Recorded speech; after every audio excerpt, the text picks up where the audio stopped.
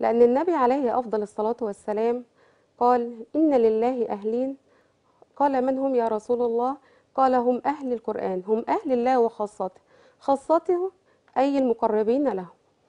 وكمان لما تروي أم أم المؤمنين السيدة عائشة قالت أن النبي عليه الصلاة والسلام قال الماهر بالقرآن مع مع السفرة الكرام البررة. قيل من هم يا رسول الله السفرة مع- قيل من؟ قيل هم الأنبياء وقيل آه، ال- الملائكة.